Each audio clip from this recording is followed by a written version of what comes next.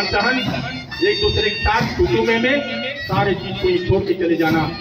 जाओ बच्चों, आप लोगों की विदाई और बेटी की विदाई में ज़्यादा अंतर महसूस नहीं कर रहे हैं हम। कदम से कदम मिलाकर, कदम ताल करते ये जवान पुलिस प्रशिक्षण विद्यालय, मैनपाट में सातवें दीक्षांत परेड समारोह में शामिल हुए हैं।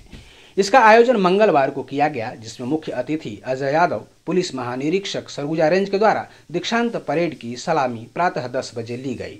दीक्षांत परेड की सलामी के पश्चात मुख्य अतिथि के द्वारा नव आरक्षकों के परेड का निरीक्षण किया गया। तत्पश्चात पुलिस अधीक्षक मैनपाट रवि कुमार कुर्रे द्वारा नव आरक्षकों को शपथ दिलाई गई। दीक्षांत परेड के पश्चात पुलिस अधीक्षक पी टी एस मैनपाट द्वारा संबोधित किया गया।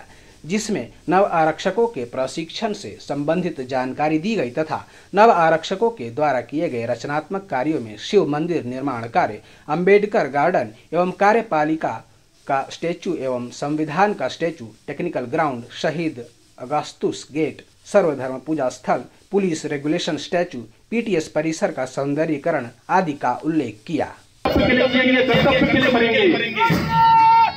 धर्म धर्म है ये बात हमेशा